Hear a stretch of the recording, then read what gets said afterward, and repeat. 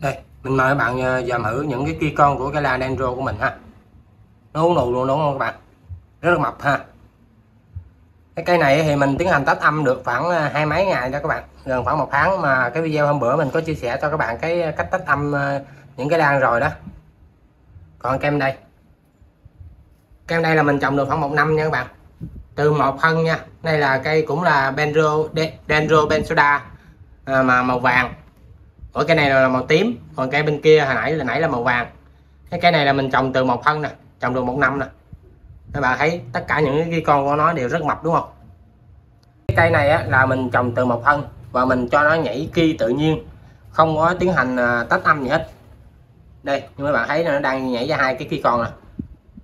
Các bạn thấy không? Thầy dội ánh đèn vô thì nó hơi chá xíu. Mập ú luôn ha để để để mình lấy size ra cho các bạn xem thử ờ, cái cây mà mình trồng được một khoảng một năm từ một thân. Coi nó to đến mức độ nào ha. Đây các bạn tay mình ha. Cái chậu này của mình là chậu 35 ờ, đó nha các bạn.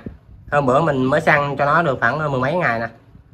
Mình cũng có làm cái video chia sẻ cho các bạn cách cách sang chậu rồi đó. Hai à, cô chú Phật mình xin chào các bạn yêu Hà Lan ha.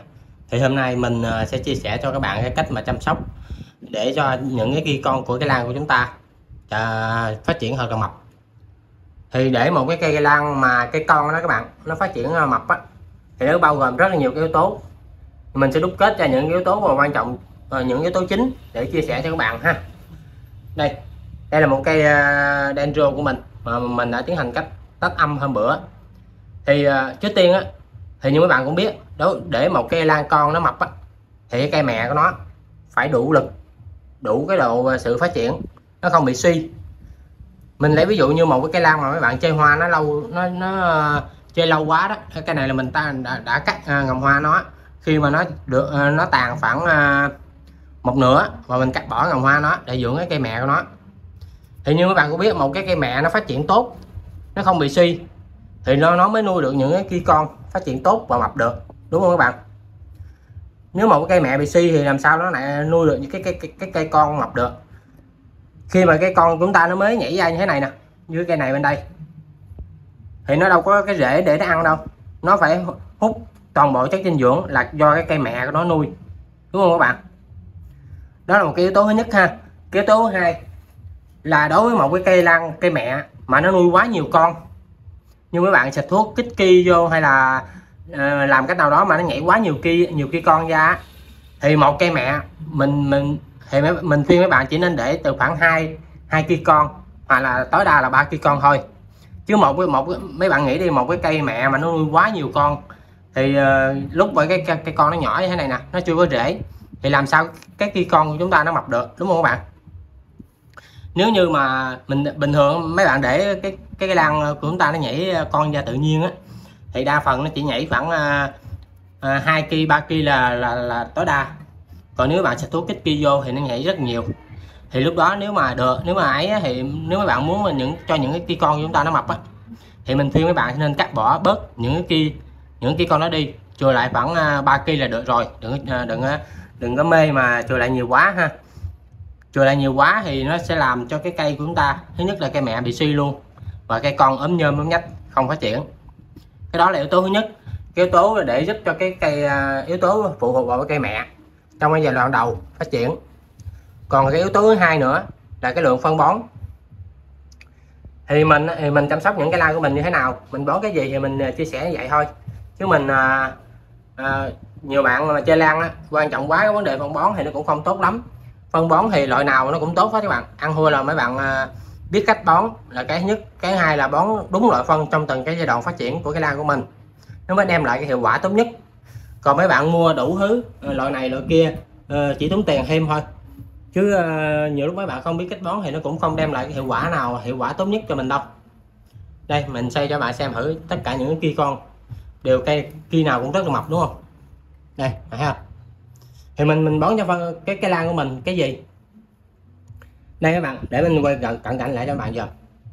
Ở dưới cái ở dưới cái phần gốc của nó mình bỏ một uh, cái này là cái lớp riêu mình mới ghép vô chơi cho nó đẹp thôi. Trong đây là cái phần trùng quế ha. Và ở ngoài đây cũng là cái phân uh, ờ, ổ lộn. Cái phân dê các bạn mình không bỏ phân trùng quế. Hồi lúc trước mình bỏ phân trùng quế một thời gian nó nó, nó mau một phần là cái phân dê nó mau ờ, rã ra hơn là cái phân dê. Nên mình không có xài phân phân trùng quế nữa mà mình phải xài phân dê. Phân dê này nè các bạn một là mấy bạn bỏ vô tưới lưới và bỏ xung quanh cái gốc của nó để chúng ta tưới nước thì cái lan của chúng ta nó sẽ hấp thụ từ từ. Còn cái này là cái phân truyền nhật tại hôm bữa mình bỏ bỏ vô chơi thôi. Chứ uh, trong cái giai đoạn ờ, đầu phát triển thì uh, cũng không uh, không nhất thiết phải bỏ cái phần truyền nhật vô làm gì. Và mình bón cho cây lan của mình như thế nào? Để một cái cây lan nó phát triển được nó nhiều hút được nhiều chất dinh dưỡng để nó nuôi cho cái, cái kia con á thì phải đủ đảm bảo đủ cái chất dinh dưỡng mình thì mình bón NPK 30 10 10 nha các bạn. 30 10 10 ha. 1 gam này mình pha với 1 lít nước. Và mình pha chung với 1 ml B1 thì cũng như cho trong những cái video lần trước mình đã chia sẻ rồi B1 á, nó có cái khả năng là tăng tăng khả năng hấp thu và cũng như dẫn lưu cái chất dinh dưỡng. Nó cũng có một phần à, à, tác dụng nhỏ là kích thích kích thích rễ đâm da phát triển tốt hơn. Vậy thì chúng ta kết hợp hai cái hai cái thứ này lại 30 10 10 và NB và B1 thì cái này nó cung cấp cái lượng lân, lượng ờ, phân bón cần thiết. Thì cái này nó dẫn lưu tăng khả năng hấp thu cái chất dinh dưỡng của mình, cho cái lan của mình. Đó là cái yếu tố thứ hai, đó là cái lượng phân bón ha. Mình mình bón sao mình ờ, mình chia sẻ vậy thôi nha các bạn. Còn các bạn có ý kiến nào khác hay hơn thì ờ, cứ comment bên dưới nha.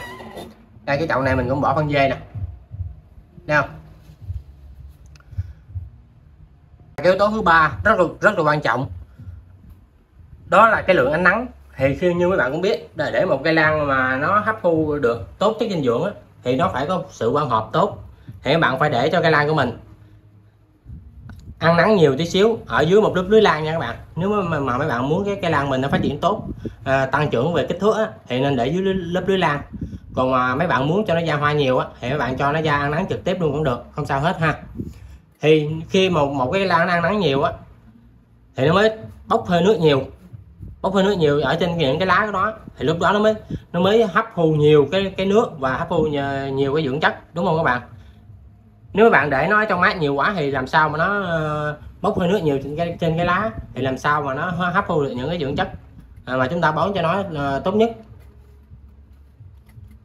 Và cái yếu tố cuối cùng là cái lượng nước tưới. Giữa hai lần tưới thì à, mấy bạn phải để cho cây lan của mình nó nghỉ. Nghỉ tức là sao? Là cái giá hệ của nó phải được à, phải khô phải à, nói chung là không không cần phải khô, khô quá. Vừa khô là đủ. Tại vì khi mấy bạn tưới một cây lan mà ướt đẫm lúc nào của nó cái gốc cái giá hệ chúng ta nó cũng bị ướt á. Thì một cái gì đó đủ thì làm sao mà nó đi kiếm nữa? Khi mà chúng ta để cái thời gian cái giá hệ chúng ta nó khô khoảng à, một ngày ví dụ như mấy bạn tưới buổi sáng rồi chiều thì mấy bạn nên tưới, tưới tiếp chứ đừng có tưới uh, nhiều quá thì nó cũng không tốt. Cái dễ lan của chúng ta nó có cái thời gian khô khô á thì lúc đó nó mới bò tăng cái cái, cái tốc độ bò ra đó các bạn. Tốc độ mà phát triển cái bầu rễ á. Thì khi cái cái cái rễ nó phát triển mạnh á, thì nó mới hút được nhiều cái dưỡng chất. Đúng không các bạn? Và đây đây là một cái lan mà mình à, mình mới mua thôi. Và mình trồng lại và mình tiến hành tách âm hôm bữa. Đây các bạn thấy nè. Những cái kia con của nó hiện tại là đang cũng đang rất rất là mập đúng không? Cái này là à, gì ta? À, bà, bà liễu xưa các bạn mình ờ, hôm bữa mình thấy bông hoa của bà liễu xưa nó đẹp quá nên mình mình mới mua thêm. Này mình ghép hai chậu hai gốc vào chung một chậu ha. Đây bạn nhìn thử thử nè những cái kia ờ, con của nó đang phát triển rất mập đúng không? Các bạn nhìn ờ, so sánh giữa cái kia con so so với cái thân của cây mẹ để bạn biết những cái kia con nó đang mập đang phát triển tốt hay là không ha. Rồi thì của sống vật mình chăm sóc những cái lan như thế nào? Thì mình à, biết như thế nào và mình à, sẽ chia sẻ như vậy thôi. Còn nếu bạn mà chơi lan lâu năm có kinh nghiệm á, thì à, có ý kiến nào hay hơn á, thì cứ, cứ comment bên dưới video để chia sẻ kinh nghiệm đó thêm cho mình cũng như mấy bạn mới tập chơi lan khác để giúp uh, chúng ta có những uh, cái lan thật là đẹp và thật nhiều uh, nhiều hoa. Thì uh, trong kênh của mình á chia, chia chia sẻ rất nhiều cái phương pháp chăm sóc cũng như uh, cái cách mà kích hoa lan. Nếu bạn thấy hay và hợp lý thì hãy cho mình xin một like ha một đăng ký kênh để ủng hộ tinh thần cho mình. Cái quá trình mà chăm sóc ờ, những cây lan của mình mình thấy cái nào hay và hợp lý thì ờ, mình sẽ làm một cái, những cái video chia sẻ kinh nghiệm đó lại cho các bạn. Rồi mình có số mật mình xin chào tạm biệt các bạn ha. Chúc uh, chúc các bạn có những chậu lan thật đẹp và luôn xanh tốt đặc biệt là nở thật nhiều hoa. Thì uh, hôm bữa mình cũng có làm uh, những cái video mà chia sẻ cái cách mà kích hoa lan rồi á. Nếu các bạn thấy hay thì hãy bấm vào kênh của mình để xem nha. Chào tạm biệt các bạn. Hẹn gặp lại các bạn trong những video lần sau.